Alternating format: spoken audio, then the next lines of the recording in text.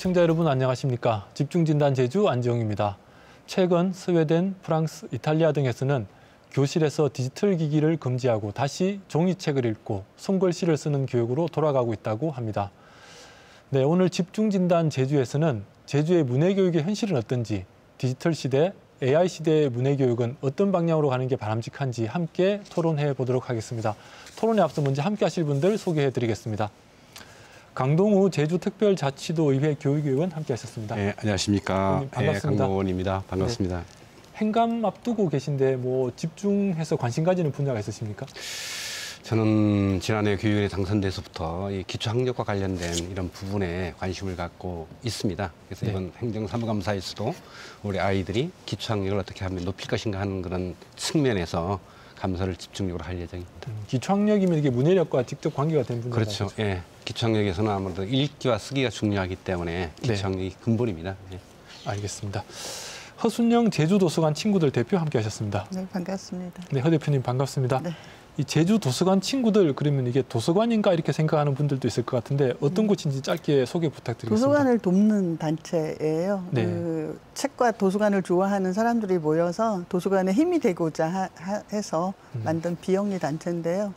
어, 월 2천 원씩 후원하는 네, 후원 회원이 280명 되고요. 네. 예, 어, 독서 소외, 어, 소외 계층의 어, 도서관을 더 가까이 할 수 있는 프로그램에 집중하고 있습니다. 아, 알겠습니다. 이 뭐 도서관들이 필요한 도서 구매나 프로그램 같은 것들을 지원해주는 도서관 지원책에다 이렇게 보면 될까요? 네.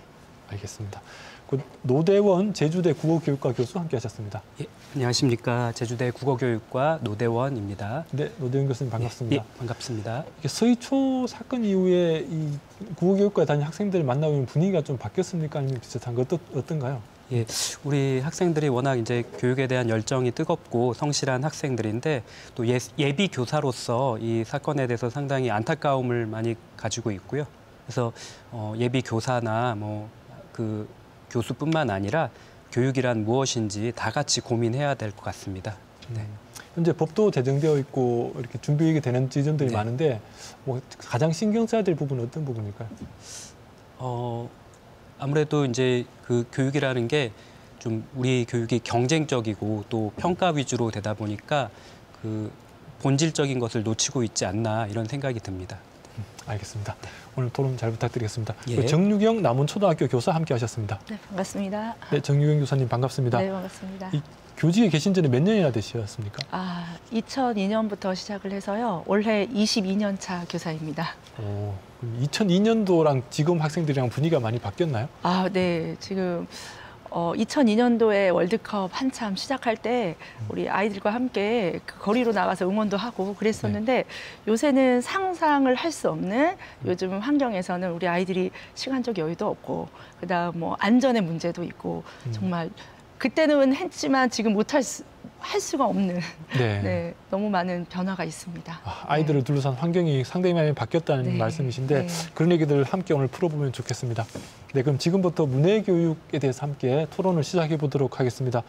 문해 교육, 문해 이런 지금 제가 말을 많이 썼는데 들으시는 분들이 또 거꾸로 문해력이라는 단어가 굉장히 좀 난감하게 들리는 분들도 계실 것 같습니다. 우리 노대훈 교수님, 문해력 이라고 하는 것이 어떤 의미인지 짧게 설명 부탁드리겠습니다. 그 문해력이라는 거는 이제 말 그대로 글을 풀어낸다, 글을 안다라는 뜻인데 네, 어, 쉽게 얘기하면은 글을 읽고 쓸 수 있는 능력을 말합니다. 근데 이제 학계에서는 문해력이라는 단어 이전에 문식성이라는 표현을 썼습니다. 네, 네, 같은 이제 의미를 갖고 있는데요. 그 최근에는 이제 literacy라는 그 영어를 네. 더 많이 쓰죠. 네. 근데 잘 보면은 최근에 literacy 앞에 무슨 단어들이 많이 붙어요. 뭐 디지털 literacy, 뭐 AI literacy, 미디어 literacy, 뭐 생태 literacy, 음. 뭐 정말 많은 단어들이 나와서 다 열거하기가 어려울 정도인데요. 이렇게 어, literacy라는 것, 그러니까 문해력이라는 것이 어, 굉장히 복잡하고 좀 다양한 환경 속에 놓이게 됐다라는 것을 우리가 알 수 있습니다. 단순히 읽고 쓴다는 의미를 넘어서 지금 시대에 맞는 소통을 어떻게 할 것인가라는 의미를 담고 있다고 보도 될까요? 예, 맞습니다. 예. 그러면 지금에 있어서 다시 또 문해력이 주목받고 있는 것이 방금 말씀하신 것처럼 디지털 시대, AI 시대에 과연 문해력이 무슨 의미인가라는 질문들을 많이 던지는 것 같아요. 예. 이런 부분은 어떻게 보십니까? 네. 그 여러분도 많이 이제 활용해 보신 분도 있겠지만 작년 11월 말에 그 오픈 AI사에서 챗 GPT라는 네. 언어 모델 AI가 나왔습니다. 이 언어 모델 AI가 어, 평균적인 지금의 이제 평균적인 그 성인들보다 훨씬 더 글을 잘 쓰는 그런 어, 능력을 가지고 있죠. 네. 그런 점에서 과연 이제 어, 앞으로 우리가 일자리 문제도 그렇고 그리고 학생들이 어떻게 교육을 시켜야 될까 이런 고민들이 상당히 많아지고 있습니다. 음, 디지털 시대에 맞는 혹은 인공지능 시대에 맞는 교육의 방향에 대해서는 앞으로 토론이 필요한 지점이다. 예. 이런 말씀이신데요. 그러면은 다시 우리 아이들로 좀 돌아와서 이것이 문해력이다. 소통의 능력이다. 이렇게 우리가 좀 정리를 해볼 수 있을 것 같은데 사실 지금 아이들 정보력 혹은 디지털 기기 사용 능력은 아마 뭐 세계, 최- 세계 최고 수준이지 않을까 싶은 생각이 드는데요. 어, 우리 허순영 대표님 보실 때는 이게 좀 지금에 있어서 이런 디지털 시대 세대를 바라보면서 이전과 비교했을 때 문해력의 수준은 어떻게 바뀌었다고 보시는지요? 그 특히 코로나 시기를 거치면서 네. 사실은 아이들의 문해력이 더 떨어졌다는 평가들이 많습니다. 현장에서는 그게 이제 우리나라 문제만이 아니라 전 세계적인 네. 어, 그 현상이고요. 그래서 다시 이제 책과 그, 어, 쓰기, 읽기 쓰기가 더 강조돼야 된다는 지점에 와 있는데, 네. 그 정책은 사실은 또 디지털 그, 어, 교과서를 넘어서 AI 교과서 뭐 이런 쪽으로 어, 좀 정책 방향이 가는 것 같아서 안타깝죠. 음. 근데 지금 뭐 청소년들뿐만 아니라 20, 30대들이 쓰는 언어도 사실 좀 생경, 생경한 언어가 많지 않습니까? 네. 음. 예, 그런 부분에 대해서는 어떻게 바라보시는지요? 어, 소통이 어려울 것 같아요. 사실은 그 20, 30대 같은 그 계층에도 사실은 디지털 사용과 안 하는 사람의 음.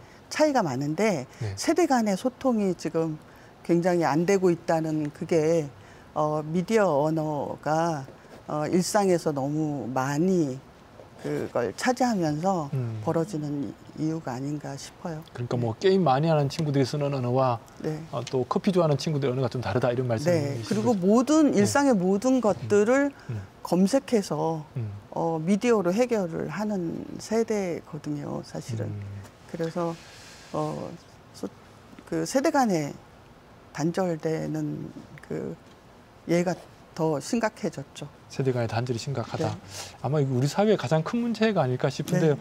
강동호 의원님 어떻습니까? 지금 이런 우리 청소년들에 대한 그러니까 교육 의원이시니까요. 청소년에 대한 제주도 청소년들에 대한 이런 문해력에 대한 어떤 기초 데이터들이 좀 나와 있습니까? 교육부는 지난해 12월에 네. 2022 개정 교육과정을 고시했거든요. 네. 그 핵심 내용을 보게 되면 미래 교육을 위해서 음. 디지털 기반이 맞춤형 교육을 한다 그랬습니다. 네. 거기에 맞춤형 교육을 한다고 하면 기초 학력이 보장이 돼야 될 것이고요. 음. 그에 따른 학생들이 창의력이라든가 인상 함양에 중심을 둬야 되거든요. 네. 그러려면 수업과 평가 혁신이 이루어집니다. 음. 실질적으로 우리 제주 학생들이 문해력 수준이 어느 정도인지 조사된 자료는 지금 없습니다. 아, 아예 없습니까? 예, 음. 없습니다만 저는 이 자료를 하나 좀 공개를 좀 할까 합니다. OECD 피사 한국 순위가 지금 나와 있거든요. 여기 보시면 2006년부터 2018년까지 지속적으로 읽기 영역이 낮아지고 있습니다. 전국적인 순 예, 전체 참여국 2018년 79개국이 참여를 했는데 여기 보면 5에서 9위 정도로 영역이 아마 읽기 영역이 다 다르겠죠. 음. 그만큼 우리 학생들이 문해력이 좀 낮아지지 않겠나. 즉 우리 제주는 전국의 1.2%이기 때문에 이 자료를 잘 보면 우리 제주 학생들이 문해력의 정도를 어느 정도 유추할 수 있다고 저는 봅니다. 아, 또한 그러니까 매년 지금 문해력이 떨어지고 있다 이런 말씀이신 거죠? 예, 떨어지고 있지 않는가 저는 그렇게 보고 추정할 수 있습니다. 있다라는 예, 예. 말씀이시고. 네. 또한 그 이번에 그 올해 행정사무 감사에서 저희도 교육청에 제출된 자료를 보게 되면 학생들이 읽기와 쓰기 영역에 대한 미도달 학생 비율이 조금은 낮아졌어요. 지난해에는 1.25%였는데 올해는 0.91%로 읽기 영역이 좀 낮아졌고요. 그리고 쓰기 영역은 지난해 0.9%였는데 올해는 0.69%좀 낮아졌더라고요. 이 모든 게 우리 교육위원회에서 여러 의원님들이 기초학력 보장법에 근거해서 개선을 많이 요구했습니다. 네. 아마 그런 결과에서 많이 낮아지지 않았는가 그런 결과를 알 수 있고요. 어떤 간에 제주 학생의 문해력은 기초학력 미도달 학생들 읽기 쓰기 영역에 대한 쪽으로 조금 유추할 수밖에 없지 않은가 그렇죠. 그렇게 보고 있습니다. 기초학력의 읽기 쓰기 영역으로 봤을 때 지난해보다는 올해가 조금 나아지긴 네, 한것 같다. 나아지고 있다. 나아지고 네, 있다. 네, 하지만 네. 전반적으로는 떨어지는 추세는 보이고 있다. 이렇게 네. 지금 분석해 주셨는데 현장에서 느끼시는 느낌은 어떤지가 궁금한데요. 정유경 선생님 어떻습니까? 아, 네. 아까 여러 선생님들 말씀하신 것처럼 아이들이 사용하는 언어가 굉장히 단순합니다. 네. 그러니까 다양한 상황에서 적절한 어휘를 선택해서 사용할 수가 없다. 뭐 대박, 헐, 막 이렇게 희노애락을 이 단순한 이 두 단어로 다 표현을 하거든요. 그래서 네. 아이들 사이에 갈등이 생겨서 이제 세네 명을 모아놓고 어떤 일이 있었는지를 이제 이야기를 듣는 과정에 보면 각자 이야기가 다 달라요. 불과 네. 몇분 전에 있었던 그런 사실을 음. 시간적으로 이제 논리적으로 설명할 수가 없어서 참 아, 이런 상황도 있구나. 그래서 선생님이 이제 종합적으로 이야기를 하고 이게 맞냐 확인하면서 그런 해결을 좀 찾아가는 그런 네 그런 경우가 많고요. 어, 그럼 예를 들면 친구들 사이에 둘이 다툼이 있었어요? 네. 다툼이 있었으면 이게 서로 설명을 해야 되잖아요. 왜 싸웠는지. 달라요. 어, 달라요? 네, 다르고 음. 이제 그거를 적절 아 그거는 맞는데 이거를 어떤 어휘로 어떻게 말을 해야 되는지 음. 연습이 안 되고 그런 언어를 사용해 보지 않았기 때문에 어. 이게 그런 애로사항이 많이 발생하거든요. 그래서 네. 일상생활에서 사용하는 어휘가 네. 좀 다양하지 못해서 의사소통에도 좀 힘듦이 있고요. 수업 안에서는 더더욱 그렇습니다. 그래서 텍스트로 주어지는 학습 자료를 읽고 내용을 이해를 못해서 지레 겁먹어서 선생님 모르겠어요. 설명해 주세요. 음. 예, 그래서 그냥 대충 훑어보고 이제 아예 포기하는 친구도 있고 도움을 요청하거나 그래서 지금 학습 부분의 어휘력, 학습 어휘력도 굉장히 아이들이 좀 많이 힘듦을 느끼고 있고요. 아까 의원님 말씀처럼 어, 이런 아이들 처음에 우리 작년에 딱 만났잖아요. 코로나를 겪고 네. 아 이거 어떡하지? 진짜 선생님들도 멘붕이 있었고 그래도 하나하나 이제 적당한 자료들을 찾아가면서 학교 안에서 고민하면서 지금 아이들을 이제 맞춤형으로 지원하고 있습니다. 그래서 저희 학교도 이제 개인적인 얘기지만 연구 기초학력 연구학교인데요. 선생님들이 정말 단합해서 아이들의 기초 문해력을 어떻게 보장하고 담보하고 아이들의 진짜 미래 삶을 어떻게 좀 잘 살아갈 수 있는지 문해력을 위해서 많이 노력하고 있는데 좀 네, 효과가 있습니다. 결실을 좀 맺어가는 것 같긴 해요. 음. 네. 그럼- 사실은 네, 네. 이렇게 그 얘기를 들어보면 문해력이 단순히 읽고 쓰는 능력이 아니라 글을 읽고 의미를 파악하고 이해하는 능력이거든요. 네. 그래야만 자기 이야기로 자기 이야기를 할 수 있는데 그 부분이 되게 많이 부족한 것 같아요. 음. 말씀해 주신 것처럼 이제 그 학생들의 문해력을 상당히 네. 이제 걱정하는 그런 어, 목소리들이 많고 또 언론 보도도 많은데요. 왜 이런 현상이 있을까를 좀 생각을 해보면은 음. 어, 사실 우리 학생들이 그 다른 나라 학생들에 비해서 문해력이 떨어지는 편은 아니거든요. 전반적으로. 어. 그런데 네. 이제 전체적으로 보면은 그 장기적으로 이제 추세를 보면은 그 하위권 학생들이 상당히 많이 늘어나고 있습니다. 그러니까 하위권 문해력이 좀 낮은 학생들이 늘어나다 보니까 양극화가 심해진다. 그렇죠. 예, 네. 그 그 문제들이 많이 보이게 되는 거죠. 너무 네. 어, 너무 심하다 이 학생. 음. 이제 그런 현상들이 언론에 많이 보도되고 우리가 좀 우려하는 부분이고 또 말씀해 주신 것처럼 코로나 19 이후에 이제 이런 그 하위권 학생들이 더 그 문해력이 좀 더 낮아지는 그런 이제 안타까운 일이 있기 때문에 이것들에 대해서 좀 어떻게 좀그 보완을 해야 될지 그것들을 좀 고민을 할 필요가 있습니다. 그러면 정윤 선생님 보실 때 지금 지금 반에 있는 친구들 중에서 이게 조금 문해력에 문제가 있다. 네, 네. 소위 말해서 수업을 진행할 때 너무 힘들어하는 친구들 네. 있잖아요. 그러면 학교 오기 싫을 거잖아요. 네, 그렇죠. 예, 네. 그런 친구들이 한 반에 몇 명 정도 있다고 보세요? 아, 지금 대략. 제가 음. 보통 이제 다른 학교 선생님들과 이야기를 나누고 이제 보면 한 25명 중에 네. 정말 기초학력이 힘든 친구들이 6, 7명입니다. 어, 상당히 많네. 네, 이런 친구들은 어, 일단 학습에 대한 동기도 없고 자존감도 없고 심리적으로 굉장히 위축되어 있고 네, 그게 굉장히 큰 문제이거든요. 그래서 네. 1학년 출발하고 학교에 학습을 딱 맞닥뜨리기 전에 가정 안에서 이 친구들이 7년이라는 시간을 보내고 있는데 이 학, 이 과정 안에서 아까 교수님 말씀하셨지만 문식성을 위한 그 발 생존 문식성이 확보가 되는 시기예요. 그런데 네. 너무 영상에 노출되거나 책 읽기를 안 하거나 뭐 이랬을 때 아무래도 이제 학교에 와서 학습을 맞닥뜨리는 그 출발점이 아이들마다 다른 거예요. 네. 네, 이제 적극적으로 부모님의 노력에 의해서 단 하루에 15분이라도 이야기를 통해서 책도 큰 소리로 읽어주고 일상적인 대화지만 소소한 어휘력도 이제 넓힐 수 있는 기회를 많이 준 학생들은 학교에 와서도 즐겁게 부담 없이 한글을 모르고 와도 정말 자신 있고 재미있게 애들하고 소통하면서 지낼 수 있거든요. 그러니까 네. 제일 중요한 건 그런 책 읽기의 음. 양극화, 음. 가정의 관심.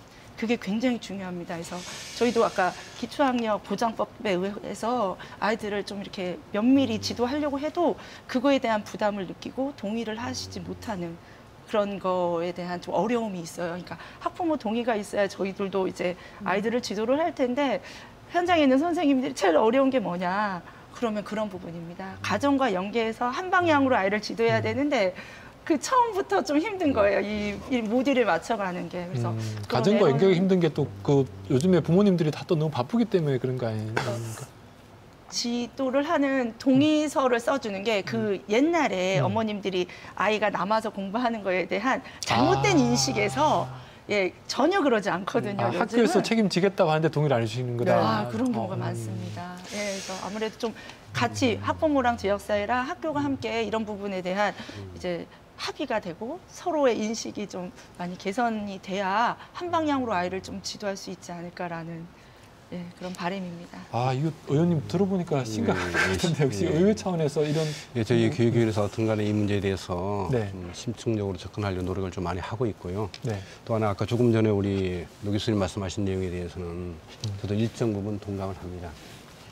왜냐하면 이 통계가 2018년까지 통계거든요. 3년 주기로 조사를 하지만 코로나19를 거쳐가지고 나오는 2021년 통계는 아직 나오지는 않았습니다. 음. 그럼 전반적으로 우리나라 읽기 수준을 보게 되면 해마다 낮아지고 있는 것은 네. 분명한 사실이에요. 그래서 아까 양극화 말씀도 하셨는데 기초학력 미달 학생 비율이 높아지면 높아질수록 이 비율은 좀 높아질 것이라고 봅니다. 네. 그래서 저는 간 학생들이 읽기와 쓰기 능력, 기초학력이 보장이 되어야만 문해교육은 모든 교과에서 다 나아지라고 좀 보고 있거든요. 네. 그러면 교수님 조금 궁금한 건 이런 시대를 거쳐서 지금 대학생이 된 친구들, 네, 대학생들의 문해력은 어떻게 평가하십니까? 네, 대학생들에 관한 이제 글쓰기 그 연구 보고서에도 보면은 학생들이 문자 그대로 읽고 그다음에 의미를 파악하고 이제 정보를 이해하는 것에서는 어려움이 없습니다. 근데 이제 함축적인 의미를 파악하거나 종합적으로 추상화하는 능력이 상당히 좀 부족하다 이렇게 결론이 나와 있고요. 그다음에 반면에 또 디지털 기기에 대한 그 활용 능력은 상당히 뛰어납니다. 네. 이제 디지털 네이티브라고 흔히 얘기하죠. 그래서 음.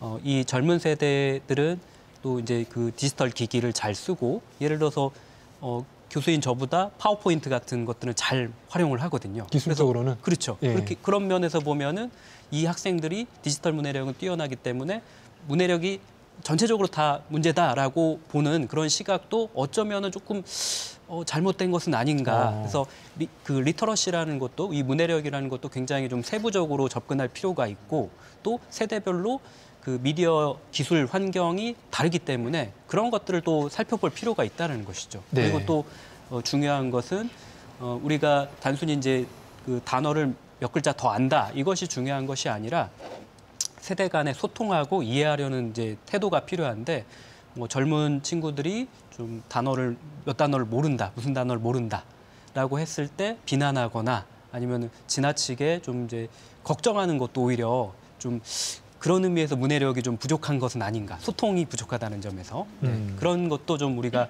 고민을 해봐야 될 것 같습니다. 네, 소통의 측면에서는 사실 네. 또 지금 뭐 4, 50대들은 20, 30대의 언어에 대해서 또 생경한 것도 사실이기 때문에 네. 서로가 노력해야 된다는 그렇죠. 말씀이신 거죠. 네. 네, 이게 아, 이게 참 쉽지 않은 문제 같습니다. 예, 어쨌든 우리 사회가 이런 양극단으로 갈리는 부분들이 문해력에서 오지 않냐라는 말씀까지 좀 교수님이 짚어주신 것 같은데 어, 조금 더 깊이 좀 들어가 보도록 하죠. 디지털 시대 쪽으로 지금 계속 얘기를 하고 있는데 제주도 교육청에서도 디지털 기기 보급을 굉장히 좀 열심히 하고 있습니다. 이 디지털 시대의 문해 교육 어떻게 가야 될지에 대해서 뭐강 의원님 먼저 말씀 열어주시겠습니까? 이 정부 교육부에서는 올해 2월에 디지털 기반 교육 혁신 방안을 발표를 했거든요. 아마 우리 교육청도 제주교육청도 네. 5월에 시범교육청 선정이 됐는데요. 문제는 디지털 교과서를 좀 사용하고 있, 다는 내용이죠. 네. 예, 지금 초등학교 3학년부터 6학년, 중학교 전학년 대상으로 해서 사회 과- 과학, 영어 교과에 대한 디지털 교과서, 이 여기서 말하는 디지털 교과서는 이북 형태로 사용되고 있거든요. 네. 근데 올해 6월부터는 음. 이 디지털 교과서가 이북 형태가 아니라 에, 사- 일반 업체에서 개발한 AI 코스를 사, 용하고 있어요. 근데 2025년이 되면 교육부에서는 AI 디지털 교과서를 사- 적용할 겁니다. 초등학교 3, 4학년, 중학교 1 학년, 고등학교는 이제 고기 학점제 때문에 공통 과목과 선택 과목에 대해서 AI 디지털 교과서를 적용할 거예요. 계속적으로 해서 2028년까지 단계적으로 적용을 할 예정이거든요. 네. 그러면 AI 디지털 교과서를 사용하려고 하게 되면 그에 마- 맞는 기본적인 베이스라인이 설정이 돼야 되거든요. 우리 뭐 초등학교 우리 정경 선생님 다 아실 겁니다만은 학생들마다 뭐 스마트키가 다 보급이 돼야 될 것 같고요. 예. 네. 근데 우리 제주도의 그 스마트키 보급 현황을 교육부에서 발표한 내용을 보니까 참 걱정이 됩니다.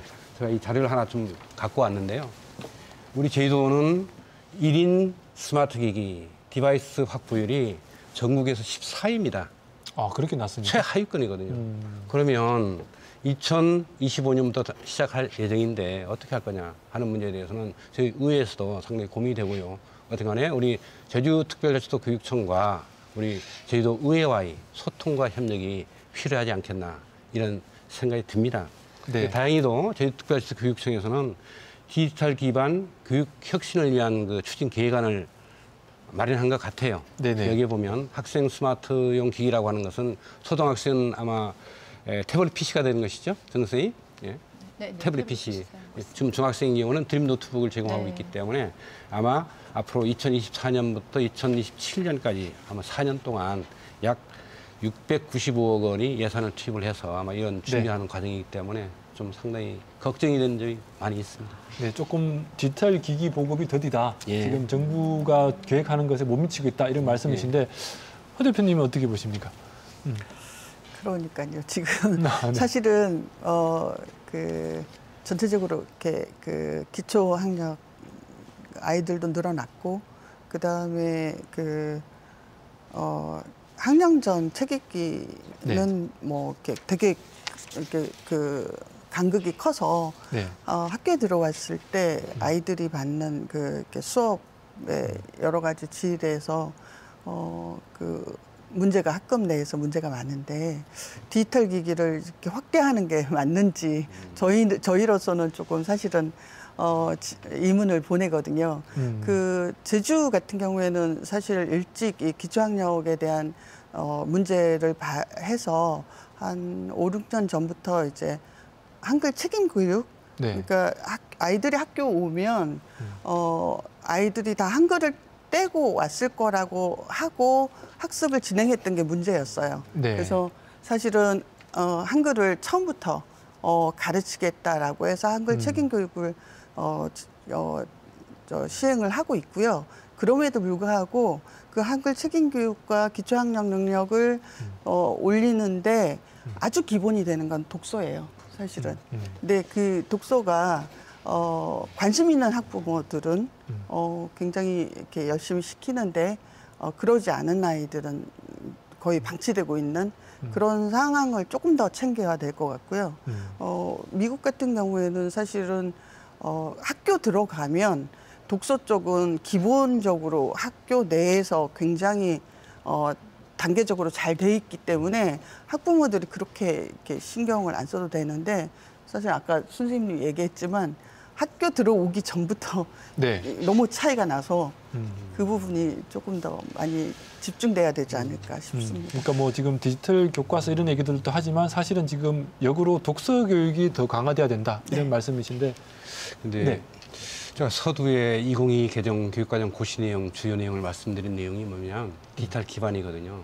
이건 정부에서 추진하는 방법 방향이기 때문에 앞으로 종이책 교과서 대신에 AI 디지털 교과서가 이제 제공이 돼서 학교에서 활- 학생들이 활용할 거예요.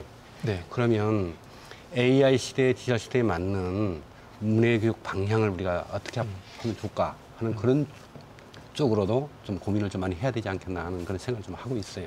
네, 어째- 두분 말씀하신 걸 들어보면 사실 이제 네. 이게 일종의 딜레마라고 할 수 있죠. 음. 우리가 기술 친화적인 사회이고 또 그것을 통해서 상당히 많은 발전을 어, 얻을 수 있었던 것도 사실이고요. 앞으로도 뭐 AI라든가 디지털 그런 사회가 열릴 텐데 거기에 대비해야 되는 것도 필요하고 네. 또 동시에 기본적인 문해력이라는 것이 또그 특히 어린 학생들의 경우에는 그 종이책 읽기 또 쓰기를 통해서 길러질 수 있는 효과가 굉장히 큰데 이걸 또 포기하기는 어렵고 이런 문제가 있습니다. 그래서 저는 사실 이 두 가지를 다 어, 두 가지 중에 한 가지만을 양자택일하는 그런 교육보다는 두 가지를 좀 더 고려를 해야 된다라고 생각을 합니다. 그래서 지금의 독서 전문가들은 양손잡이 읽기를 음, 가르치자라고 얘기를 하거든요. 우리가 네. 왼손이나 오른손잡이로서만 사는 것보다 양손잡이로서 살 때 좋은 점이 많잖아요. 네. 그것처럼 뭐 디지털 읽기도 할 수 있고 또 전통적인 읽기도 잘할 수 있다면 좋겠다. 그런데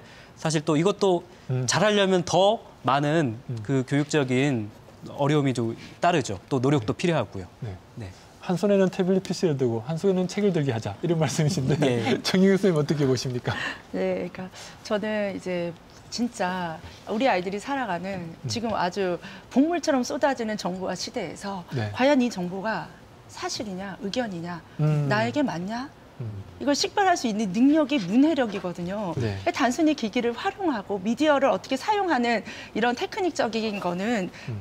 조금 젖혀두고 이 힘을 기를 수 있는 게 정말 문해력, 음. 우리 아이들이 살아갈 수 있는 그 힘의 근간이 되는 음. 그런 힘이라고 생각이 듭니다. 그래서 저는 이제 초등 교사로서 우리 아이들이 이제 양자택일을 한다면 일단 문해력 교육, 책 읽기, 그리고 자신의 생각을 소통하는 방법 이게 근반이 돼야 AI의 시대에서 진짜 정보를 잘 파악하고 자기 삶에서 이걸 녹여내고 평생 그냥 쫓아가는 사람이 아니라 계속 경주마가 될 수는 없잖아요. 네. 그래서 미래 사회에서 이 배움을 근간으로 해서 의연하게 이 살아갈 수 있는 그 힘은 자신이 주체적으로 살아가는 그 문해력이 돼야 되는데 이거는 진짜 많은 연구 결과에도 나와 있어요. 그러니까 책 읽기를 통해서 뇌가 어떻게 형성이 되고 시냅스가 어떻게 형성이 되고 사고력, 기억력이 어떻게 되는지에 대한 뇌과학자들의 연구가 엄청 많기 때문에 정말 우리는 지금 이제 AI 다 좋고요. 네. 우리 아이들이 애들, 아이를 살아가야 되는데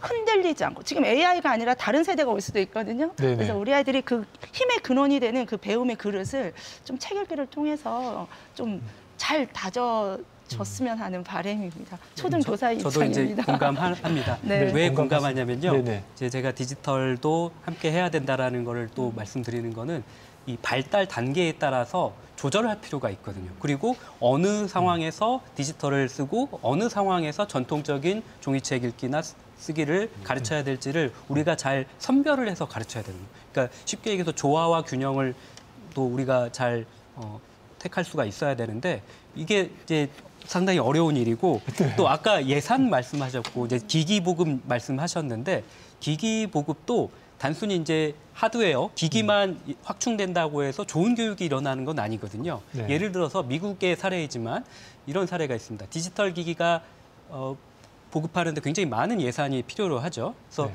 예산을 들여서 기기를 샀어요. 음. 이 기기가 비싸기 때문에 교사들은 안 쓸 수가 없는 거죠. 네. 그런데 이 쓰는 게 그 디지털 문해력을 키우고 적재적소에 쓴다면은 도움이 되겠지만 효과적이지 않은 그런 상황에서 쓰는 경우에는 오히려 마이너스가 될 수도 있죠. 이런 네. 재미있는 사례가 있습니다. 근데 음. 우리도 그런 것들 좀 조심해야 되고 보급도 중 디지털 기기 보급 또 소프트웨어 구입도 중요하지만 그 이상으로 또 이것을 어떻게 활용할지 수업 모델을 연구하고 또 교사들을 또 교육하고 또 교사들을 지원하는 이런 것들이 같이 이루어져야 되거든요. 그냥 기기만 사고 교사들에게 이걸 활용하십시오라고 하면은 교사들 안 그래도 힘든데 더 힘들어질 수 있고 교육은 오히려 마이너스가 될 수 있으니까 더 네. 복잡하게 좀 섬세하게 접근을 했으면 좋겠습니다. 음, 네.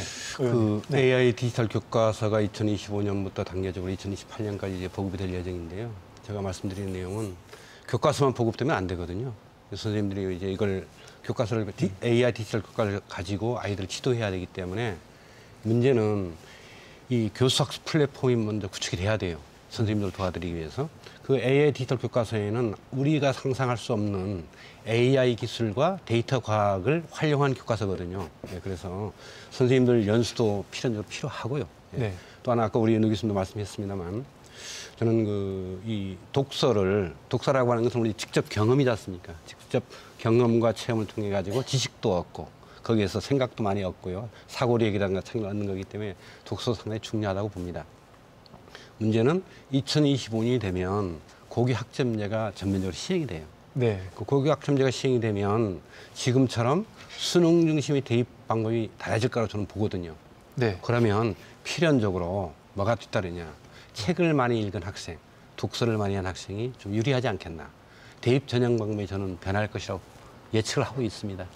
그런 측면에서 우리 AI 디지털 교과서를 사용하는 그런 그 문해교육도 중요하고 책을 읽는 문해 읽음으로써 문해교육도 향상시키고 양쪽을 좀 중첩해서 하는 쪽도 좀 좋은 방법이 아닌가 저는 그렇게 그러니까 이게 지금 보고 있습니다. 뭐 노대용 교수님 균형을 말씀하셨지만 예. 균형이 참 쉽지 않은 영역이기 때문에 예, 다들 예, 예. 뭐 집에서 예를 들면 게임기 쓸 때도 시간 정해도도 안 되고 뭐 이런 게 사실 현실이지 않습니까? 그래서 우리 정유경 선생님 같은 경우는 차라리 선택하라면 초등학교 과정에서는 지금 독서에 집중하는 것이 낫겠다 이렇게 지금 정리를 해주셨는 거지 않습니까? 그죠? 네. 그래서 이게 약간 조금 이견이 있- 있는 것 같은데 이 부분만 조금만 정리를 하고 가시죠. 네, 정유 선생님 조금 더 보태주시겠습니까? 아, 네.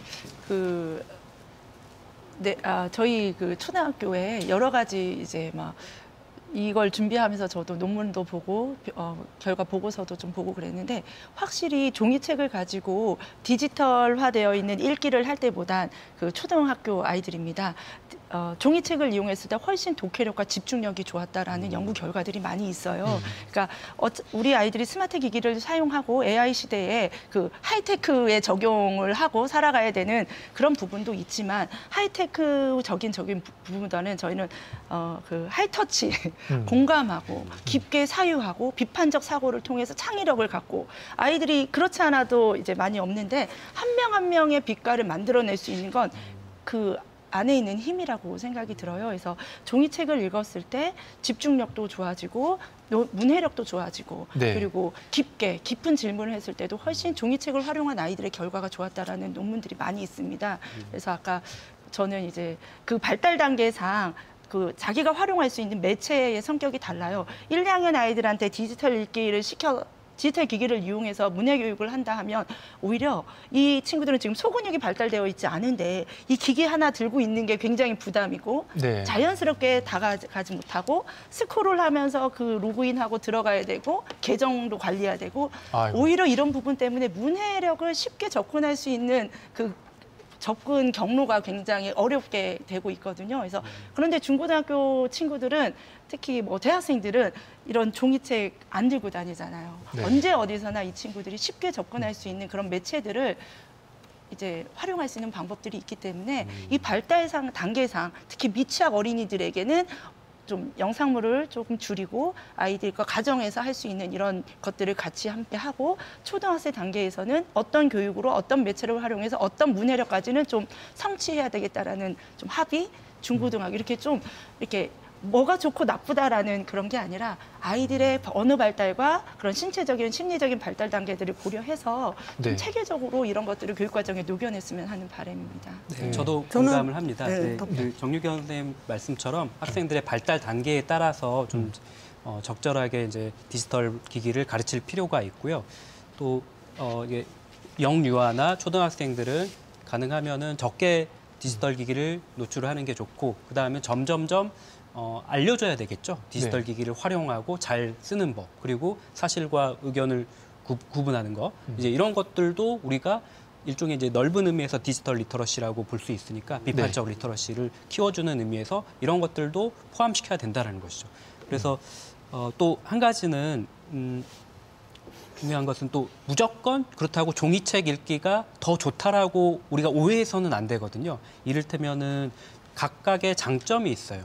종이책을 읽을 때는 종합하고 추상화하는 능력을 네. 훨씬 더 이제 기를 수가 있고 또 그 스크린으로 읽는 그런 어, 디지털 읽기는 세부적인 정보를 파악하는 데 유리하고요.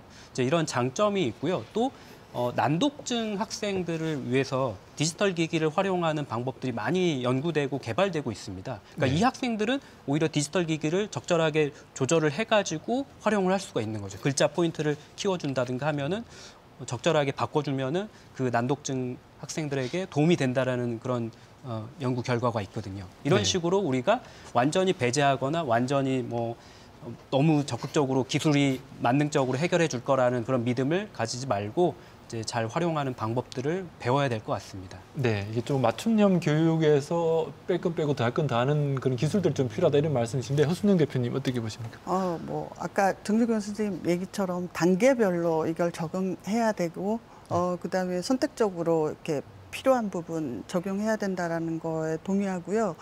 그 문제는 그 두 가지를 양립하는 데 있어서 네, 어, 디지털 기기는 빨라요. 네, 예, 빠르고 이제 금방 이제 그 효과가 나오는데 종이책을 읽고 독서 능력이 네. 평생 독자처럼 네. 정말 잘 읽는 아이가 되려면 적어도 15년 이상의 어, 그 훈련이 필요합니다. 아, 독서 교육은 15년 이상. 네. 네. 그래서 만 14세가 될 때까지 그때야 읽기와 쓰기의 그 속도가 같아지거든요. 네. 그때부터가 사실은 진짜 공부가 되는 거고요. 네. 그 전에는 진짜 공부가 되기 전에 어, 기본을 다지는 기간이에요. 음. 그때야말로 이제 정말 독서 교육이 필요한 시기. 그래서 초등이라고 하지만 저는 뭐만 15세까지는 정말 독서에? 예, 네. 관심을 쏟아야 된다라고 말씀드리고 싶고요. 그래서 사실은 이렇게 그 학교 가기 전에 그 학습의 발달 단계가 다섯 단계가 있거든요. 네. 근데 그 단계 전에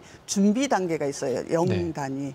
그게 이제 사실은 책 읽기예요. 음. 어, 하루에 한, 한 권? 15분 정도면 됩니다. 네. 그러면, 어, 만 6세까지 한 2천 권의 책을 읽, 읽게 됩니다. 네. 하루에 한 권이면. 음. 하루에 10분, 10분 정도면.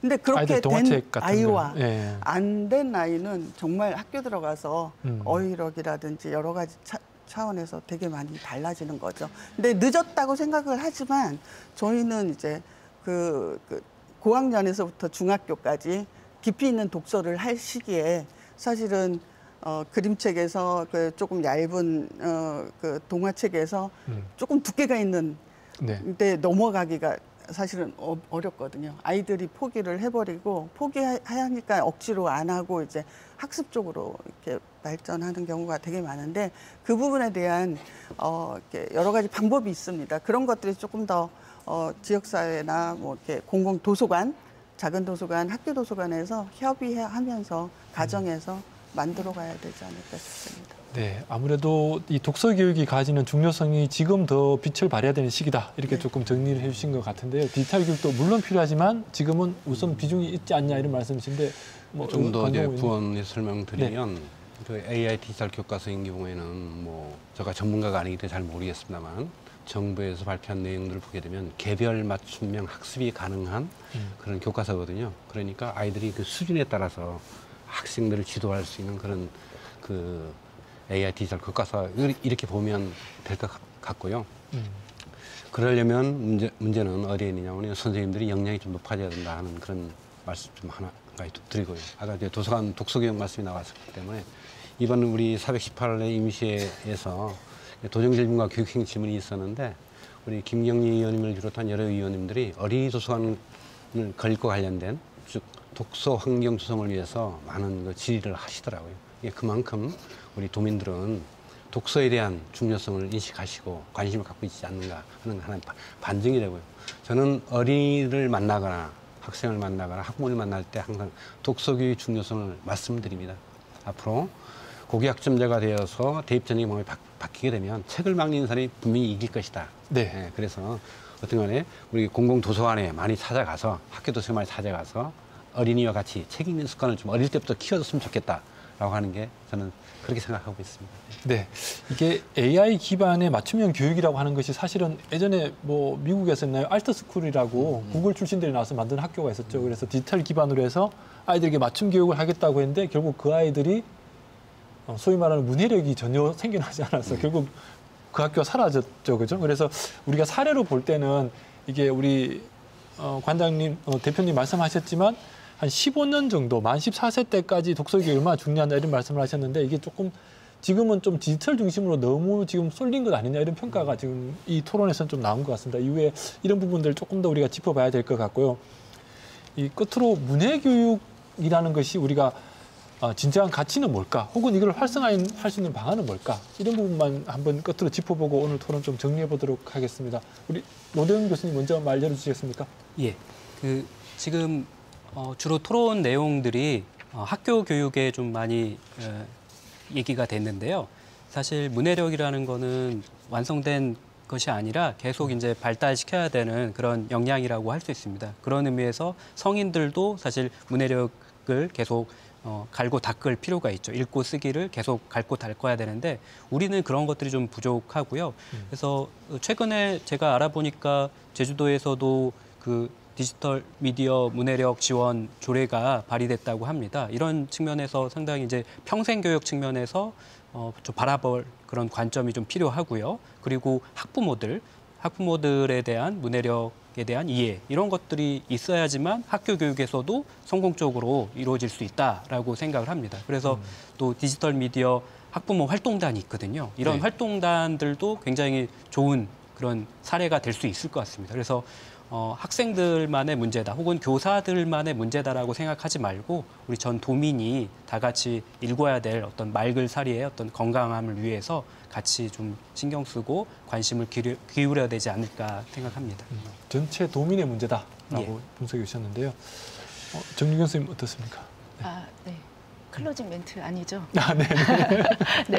네, 어, 저는 어, 문해력이 왜 이렇게 중요하게 이제 이야기가 되고 있느냐라는 근본적인 원인을 찾아보면 어, 아이들이 읽을 수 있는 뇌가 만들어지지 않고 있다. 음. 어릴 때부터 진짜 만 1세부터 스마트폰이 육아를 담당하고 있거든요.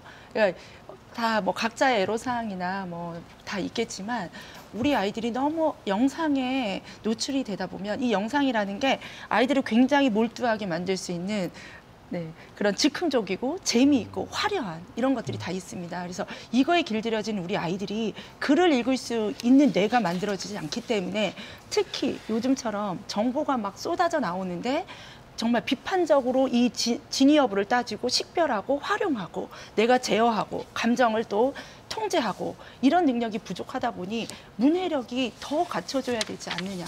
예, 지금 이 시대에 디지털 시대에 문해력이 더 필요한 요소로서 기본 역량으로서 우리가 논의가 되고 있는 것 같고요. 네. 그러기 위해선 좀 이제 책을 통해서 이 뇌가 굉장히 발달한다라는 뇌과학자들의 다양한 사례들이 있기 때문에 우리 이 정말 감정을 억제하지 못하는 학급의 많은 아이들이 있어요. 네, 그 아이들이 이제 좀막 이야기가 좀 나가긴 하지만 이제 영상보다는 좀 아이들이 몰두하고 이제 깊은 사고를 할 수 있는 이런 책 읽기가 좀 이루어졌으면 하는 네, 바람입니다. 알겠습니다. 혹시 지금 아까 저기 정유경 선생님이 난독증 있는 친구들 학부모님 동의가 없어서 어, 교육을 못한다 이런 말씀하셨는데 이런 부분들도 의회에서 혹시 고민할 수 있는 부분이 있을까요? 난독 난산 난산증 학생들이 좀 있거든요. 예, 그런 측면에서는 우리 정 선생님이 학교 현장에서 실질적으로 경험을 하고 있기 때문에 그 얘기는 맞는 것 같고요. 저희 의회에서 이에, 이에 따른 그 개선 방안에 대해서 한번 논의를 한번 해보도록 하겠습니다. 그 이 문화 교육이 활성화될 수 있는 그 방안에 대해서는 이미 2022년에 예, 디지털 기반 원격 교육 활성화 기본법이 제정이 돼 있거든요. 네. 제정이 되어서 학교 현장에서 문해 교육을 할 수 있는 그런 근거가 마련돼 있어요. 또한 올해 5월에 제주특별자치의회의 김기환 의원님이 대표 발의한 디지털 문해 진능 조례가 이제 만들어져 있습니다. 또 이승화 의원님은 이제 도민을 대상으로 한 문해 진능 그 조례를 만들었는데요. 여기에는 분명히 우리 교육적인 측면에서 보게 되면 교육감과 학교장이 할 일이 다 명시가 돼 있어요. 그래서 앞으로 오- 올해 5월에 이 조례가 제정이 됐기 때문에 앞으로 이제 저희들이 계속 지속적으로 교육위원 도의회에서 이 내용을 짚고 넘어갈 겁니다. 하여튼 주도 면밀하게 한번 이 검토해 볼 것이고요. 네. 어떤 간에 문해교육은 학교 현장에서 이루어질 수밖에 없다. 예, 디지털 시대에 네네. 이런 말씀 좀 드리겠습니다. 알겠습니다. 오늘 뭐 토론하다 보니까 시간을 맞춰야 될 것 같아서요. 예, 저 예. 잠깐 네, 짧게 마무리 예. 말씀 좀 듣고. 사실은 예. 어, 그 아이들이 읽기 능력을 향상하기 위해서는 가정과 학교와 공공도서관, 도서관이 음. 지역사회가 함께 노력해야 되는데 저는 가장 중요한 게 가정이고요. 네. 어, 가정에서 사실은 아이만 익히려고 하는 게 아니라 음. 가족이 함께 읽는 음. 그런 이제 문화가 조금 더 활성화되었으면 좋겠습니다. 아까 성인들의 문화도 되게 중요하다 그러는데 우리들은 우리 아- 지금 우리 사회가 초등 시절에만 아이들 유아랑 초등 시절에만 책 읽기를 시켜요. 음. 그게 가장 문제거든요. 네. 그래서 올해 사실은 어, 교육청에서 지원한 학부모 아카데미를 30강을 저희가 이제 방법을 바꿨어요. 음. 이론적인 거 한강하고 그 다음은 주말에 가족이 함께 나와서 실제로 토론도 해보고 음. 책 읽고 다양한 이제 활동을 하게끔 했는데 굉장히 달라졌어요. 음. 가정 문화가 달라진 그런 사례를 올해 경험했는데 네. 그런 이제 여러 가지 방법들이 더 필요할 것 같습니다. 알겠습니다. 그럼 혹시 뭐 짧게 한 20초 정도만 마무리 말씀하실 거 있으면 하고 마치도록 할까요? 네. 저- 제주도는 이제 많은 산업이 발달하지 못한 것이 사실인데요.